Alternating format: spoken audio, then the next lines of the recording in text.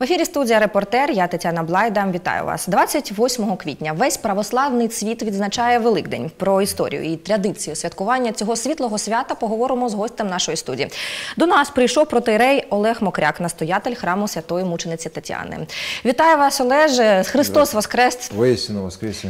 Рада вас бачити в цей світлий день у свято в нас студії. Ну я не можу не спитати вперше про політику, бо ми канал все ж таки інформаційний. Цього року дуже багато говорили про церкву в контексті політики, в контексті передвиборчої програми, в контексті змін, які відбулися в Україні.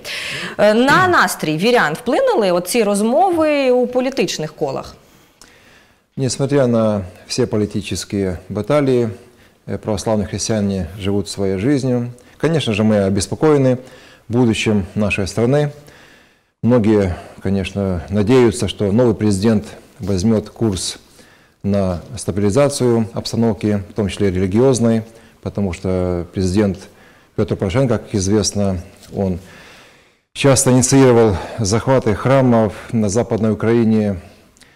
Мы надеемся, что э, новый президент, он все-таки будет умиротворять все это. И верующие люди молятся прежде всего о мире в Украине, за каждым богослужением. Мы молимся о властях и воинстве. А молитва имеет, конечно же, великую силу. Так, я зрозуміла. Е, Отець Олег, а яких ви, може, конкретних дій е, чи очікуєте від нового президента? Що б вам хотілося на благо церкви? Ну, прежде всего, чтобы перестали э, захватываться храмы, особенно в западных регионах Украины. У нас в, Одесской, в Одесской области некоторые храмы при поддержке местных администраций, в частности в Сарате, перешли в новую структуру. Эта структура никем в православном мире не признана, только лишь э, Константинопольским патриархом, который незаконно вторгся на нашу каноническую территорию. И мы надеемся, что он, новый, през- что новый президент будет все-таки поддерживать мир в Украине, в том числе религиозный. Так, ну і за мир моляться сьогодні віряни всієї України. Е, До речі, звідки давайте поговоримо про історію свята Великодня. І е, от е, таке питання мені ставили банальне, але люди не знають, чому Великдень кожного разу святкується в різні дати. Действительно, каждый день, действительно, каждый год Пасха празднуется э, в разные числа. Это все зависит э, от э, весеннего равноденствия. По э, каноническим правилам Пасха празднуется первый воскресный день после весеннего ра- равноденствия, и всегда после еврейской Пасхи. И на Пасху, конечно же, многие люди стараются прийти в храм, многие люди готовятся к этому празднику. Хозяйки пекут э, куличи, пасочки, крашенки для того, чтобы радостно встретить этот великий праздник. Е, Так, ви заговорили про кулічі, е, про яйця, про такі атрибути так е, великоднього дня. І тому я вас питаю, чи можна неосвячені їсти? Це перше питання, символи, так скажемо, Пасхи. Чому Пасхи і яйця є символом свята? Причому тут одне до іншого, так і чи можна інші якісь продукти, там делікатеси дуже люблять іноді там червону ікру, ковбаси, вино нести на освячення у церкву? Чи можна таке робити? Перед э, праздником Пасхи все православные соблюдают Великий пост, это самый строгий пост. Так. Нельзя даже есть рыбу, кроме Благовещения, верного воскресения. И поэтому, конечно же, на Пасху благословляются все, и мясо, и молочные продукты. Поэтому, конечно же, православные христиане, они стараются принести все в храмы для того, чтобы все это осветить. Нести можна, да, будь-яку Э, їжу. Можно э, нести все, в храм, все нести, но в храм, конечно же, мясо нельзя заносить по уставу. Так. Многие люди не знают. А багато хто з ковбасами, до речі, Да, з и домашнього колбасы їде. Це не можна несут, таке и, робити. да, конечно же, Так. это по незнанию. Вот, но мясо вообще по уставу в храмы не заносится. Вино, червоне вино дуже часто несуть. Э, Вино, оно используется в церкви на причастие. В основном люди, конечно, несут э, куличи, пасочки, крашеные яйца. Куличи символи- символизируют артас. Мы на Пасху освящаем артас. Это э, тот хлеб, который всегда находился за столом святых апостолов после вознесения Господа.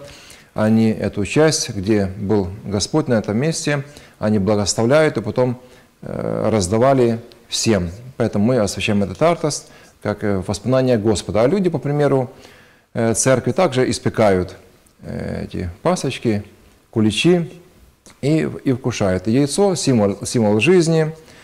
Первое подарила яйцо римскому императору Тиверию Мария Магдалина со словами «Христос воскрес». И он сказал, если это яйцо сейчас покраснеет, то я поверю в Господа.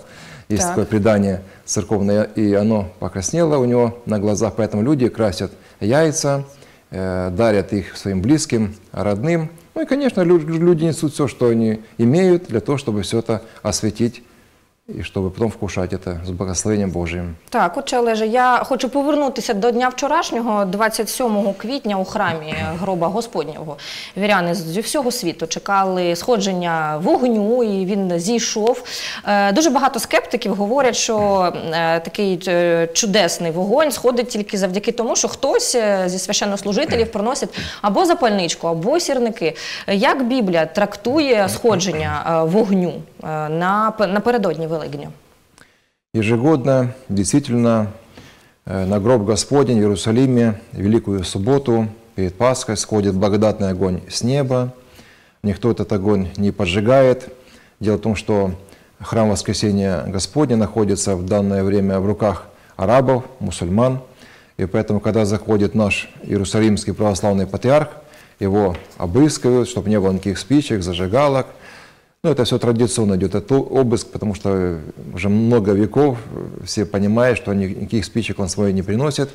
Он заходит э, со свечами в руках, у него в каждой руке по 33 свечи э, по числу лет жизни Господа нашего Иисуса Христа на земле. Полон, полон храм народа, многие паломники могут побывать и ездят, и наши паломники из Одессы, и много фильмов – снято о чуде скольжения благодатного огня. И вот в один момент, после молитвы патриарха, после молитвы всех верующих, свечи у патриарха зажигаются. Это великое чудо. И известно, что первые 15-20 минут этот огонь не обжигают, даже показывают э, видеозаписи, как люди водят этими свечами, пучками свечей по лицу, даже по бороде, и этот огонь, э, то есть он не, не обжигает. Это действительно благодатный огонь. И есть такое предание церковное, что перед концом света этот огонь не сойдет. Но мы видим, что огонь сходит, что Господь любит всех нас, Он желает нам, он, он, нам спасения, когда-то Он конечно же, все это произойдет, но мы молимся, мы отодвигаем это время, когда люди будут жить уже в полном беззаконии, когда иссякнут праведники, тогда, конечно же, вот такое может случиться, что благодатный огонь не сойдет, но мы молимся, чтобы Господь даровал еще нам время э, для покаяния. До речі, частинка благодатного вогню цього року доїхала до Одеси, до України? Каждый год э, благодетели привозят огонь из Иерусалима специальным рейсом, доставляют огонь э, в Одесский аэропорт, и священники приезжают, берут этот огонь и развозят по своим храмам. И на Пасху у нас э, все лампады, свечи зажженные от благодатного огня. Это символ милости Божией ко всем нам. Отже, але ж є таке питання, є термін такий в миру в народі православний, великодній православний. Це людина, яка ходить до церкви лише один раз в рік і вважається в принципі нормальним. Вистачить на на Великдень, там освячує Пасхи, е, читає молитву. Але все ж таки, як вам, як в церкві відносяться до такого підходу, тільки один раз на рік прийти до церкви, тільки в свято? Слава Богу, что человек хотя бы один раз приходит в храм. Угу. Может быть, Господь коснется его сердца благодать, и он будет чаще приходить, приходить в храм. Конечно же, нужно посещать храм регулярно. Господь говорит, шесть дней работай, сотвори все твои дела. А седьмой день оставь Господу Богу. То есть один день только Господь оставил для себя. Но слава Богу, что человек приходит хотя бы один раз в год, хотя этого, конечно же, мало. Нужно ходить каждое воскресенье, субботу на вечернюю жити завжди з Богом. Ви відчуваєте наплив вірян у Великдень? Тобто їх багато приходить, так? Да, люди приходят в храм, многие приходят, конечно, уже утром, когда служба закончится, они, они приходят только лишь посвятить так. свои пасочки, крашенки или какие-то другие явства. Конечно же, желательно, чтобы люди э, постояли на службе, чтобы услышали церковные песнопения радостные, пасхальные. Ведь такие песнопения поются только, только на Пасху. И в течение 40 дней мы будем прославлять Э, воскресшего Господа и будем встречать друг друга словами «Христос воскресе, воистину воскресе», потому что Господь был 40 дней на земле, и это великая радость для всех нас. Отже, Олеже, ваша авторитетна порада. Як правильно, як краще провести цей день? З ким бачитись, з ким не бачитись, куди поїхати, куди піти, про що говорити і думати?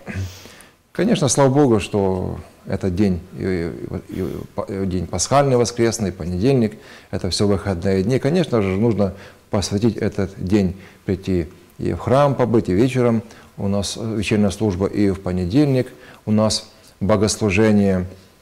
И, конечно же, посетить своих родных, близких, принести им э, пасочки, крашенки, поприветствовать их словами «Христос воскресе», чтобы эту радость э, нести всем людям и, прежде всего, нашим близким и родным. Е, Так, чого не слід робити в цей день? От від чого треба відмовитись, наприклад? Ну, нужно понимать, э, что этот праздник, конечно, божественный, это праздников, праздник и торжество из торжеств. Нужно понимать, что Господь, Он воскрес, и Он всем, всем нам дарует жизнь вечную. Поэтому нужно, конечно же, провести время и в молитве, в богомыслии. Не нужно предаваться э, там, каким-то э, непотребным развлечениям, упиваться спиртными напитками. Нужно провести этот э, день в благочестии. Так, велике свято, світлий день. Якось у мене був спір з одним із вірян, і ем, ми сперечалися, який день в прав- правос- у православних християн вважається ну, номером один, святом номером один Різдво чи Пасха.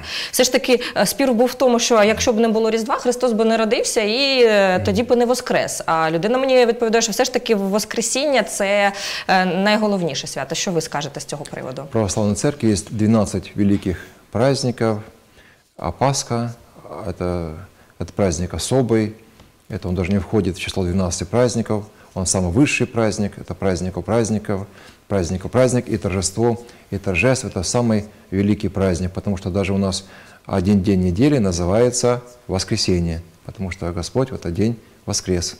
Щодо традицій, ще щодо традицій серед людей, от е, деякі, е, деякі люди в Великдень ходять на цвинтар і поминають своїх загибш- загиблих померших родичів. Як ви до цього ставитесь? На Пасху даже не совершается погребение умершего человека. На Так. Пасху и на Рождество, если человек вот э, перед этим умер и третий день попадает э, на Пасху, то мы, э, люди, они обычно переносят или за день раньше, или за день позже, но на Пасху не положено по уставу э, В церкви исполнять э, заупокойные погребальные какие-то песнопения, потому что это день радости. Поэтому, конечно же, нежелательно в этот день посещать кладбище. Для этого установлен особый день, Радоница, э, после пасхальной седмицы светлой. Даже у нас в церковном календаре вся светлая седмица красным отмечена, и э, вся, вся неделя в храме у нас поются пасхальные песнопения, врата царские открыты, а уже вот со следующей недели люди могут идти на кладбище и поминать своих усопших близких родных. До речі, от так, Великий піст закінчився, Пасху відсвяткували. Про що слід пам'ятати далі за церковним календарем? Нужно э, знать, что Господь был 40 дней на земле. Э, После своего воскресения Он являлся своим ученикам, показывал им раны на руках, и ел перед ними, показывал, что Он не призрак, что Он действительно тот самый Господь, Иисус Христос. И на 40 день Он вознесся. Поэтому после Пасхи следующий праздник, праздник Вознесения Господа на небеса. Що ж, я вам дуже дякую. Про Протоірей Олег Мокряк був у гостях у студії репортеру, і ми говорили про світле свята Великодня. Мене звати Тетяна Блайда. Побачимось. Щасти вам.